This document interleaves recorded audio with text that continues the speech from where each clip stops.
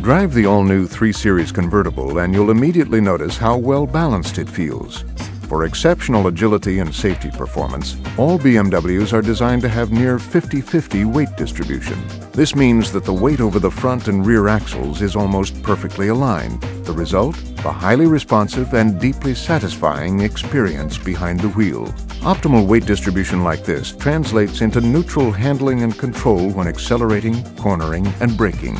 It's also a core element of what enthusiasts recognize as BMW's signature driving feel.